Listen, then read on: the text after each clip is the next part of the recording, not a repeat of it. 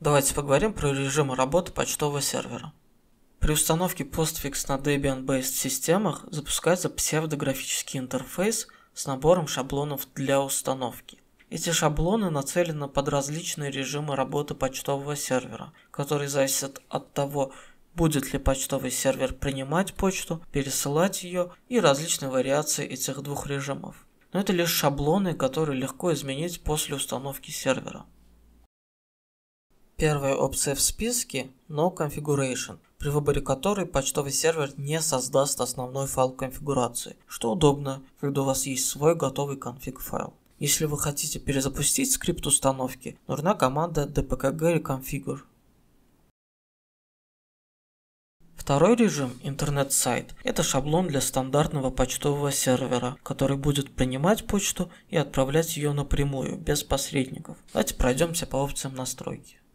Во-первых, нам нужно указать имя почты, то есть домен для почтовых адресов, который указывается после собачки. По умолчанию Postfix использует пользователей в системе в качестве пользователей почтового сервера. Таким образом, если у вас в системе есть пользователь user, то он сможет получать и отправлять почту на user_example.org. В целях безопасности не рекомендуется использовать учетную запись root для работы с почтой, поэтому нам предлагается указать пользователя, кому будет пересылаться вся почта, приходящая на адреса postmaster, root и других системных пользователей. Зачастую на эти адреса отправляют информацию различные приложения в системе, такие как планировщик задач Cron. Дальше установщик попросит нас указать те домены, на которые наш почтовый сервер будет принимать почту. Здесь, помимо нашего основного адреса домена, также есть записи localhost и различные вариации хостнейма. В основном это нужно для различных внутренних сервисов, которые посылают уведомления. Также, как вариант, некоторые сервисы отправляют на полный адрес вашего почтового сервера определенные уведомления. Допустим, то, что ваш почтовый сервер был занесен в спам-листы, как, например, на адрес postmaster собачка mail.example.org.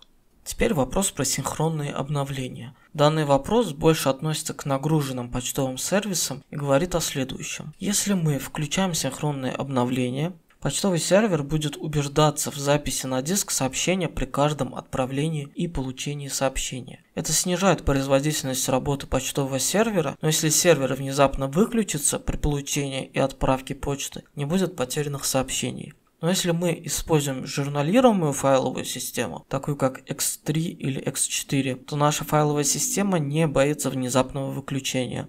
Это связано с тем, что в журналируемой файловой системе все изменения в файловой системе предварительно записываются в специальный журнал, который применяет эти изменения, а затем удаляет из журнала. Если в момент записи у вас внезапно выключился сервер, то при включении файловая система проверит журнал увидит незавершенные изменения и запишет их на диск. Поэтому, если вы используете журналируемую файловую систему, смело нажимайте «No». Теперь нам предлагают указать те сети, для которых Postfix будет выступать в роли релей хоста. В такой роли почтовый сервер не только принимает почту на свой домен, но и может перенаправлять сообщения на другие почтовые сервера. Допустим, вы можете отправить сообщение на Gmail, указав в качестве исходящего почтового сервера не smtp.gmail.com, а mail.example.org. Тогда ваш почтовый сервер сам позаботится о доставке вашего сообщения на smtp.gmail.com. Об этом мы детальнее поговорим чуть позже, когда будем обсуждать другие шаблоны. А пока, если вы не планируете использовать ваш сервер в качестве релея хоста, то можете оставить в поле только локальные адреса. Тут все просто. Дефолтный максимальный размер почтового ящика пользователя в байтах. Если стоит 0, то без ограничений. Дальше кое-что поинтереснее. Пользовательские алиасы. Вообще, алиасы в почтовых серверах используются, чтобы один пользователь мог получать почту на несколько адресов, при этом не создавая отдельных пользователей, ящиков и тому подобного. Скажем, если вы хотите, чтобы все сообщения на itexample.org приходили пользователю user_example.org, то для этого используется алиас. Также с помощью алиасов привязываются различные домены к одному пользователю. Такие алиасы может создавать администратор почтового сервера. Но администратор может позволить пользователям создавать нечто наподобие алиасов, чтобы пользователям легче было управлять своей почтой. Но для этого лясы не заменяют весь адрес, а добавляются перед собачкой, предварительно использовав специальный символ, допустим, плюс.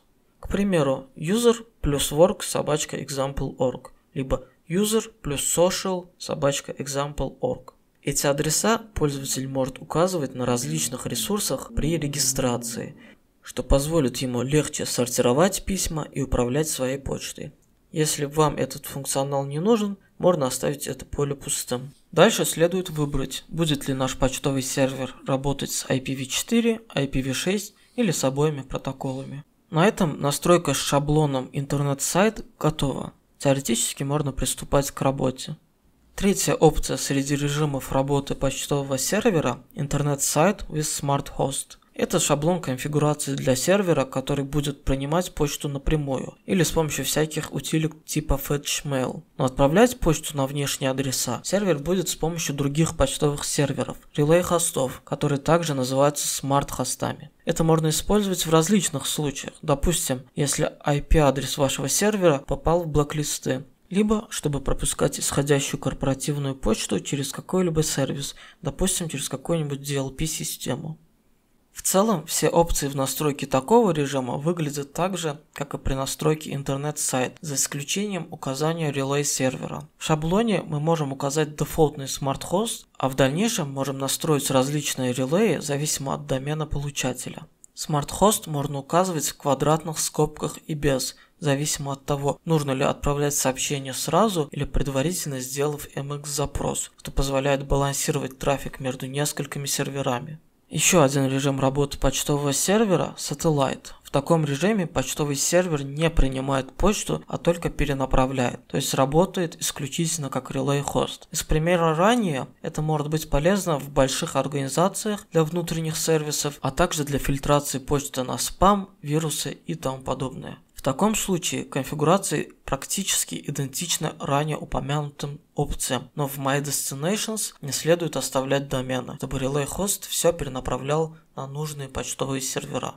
И последний шаблон Local Only, когда наш почтовый сервер не будет отправлять и принимать почту с других доменов. Все, о чем мы говорили ранее, лишь шаблоны режимов работ почтового сервиса. Юзкейсы бывают разные. Зачастую таких шаблонных настроек бывает недостаточно, и многие моменты нужно перенастраивать под свои задачи.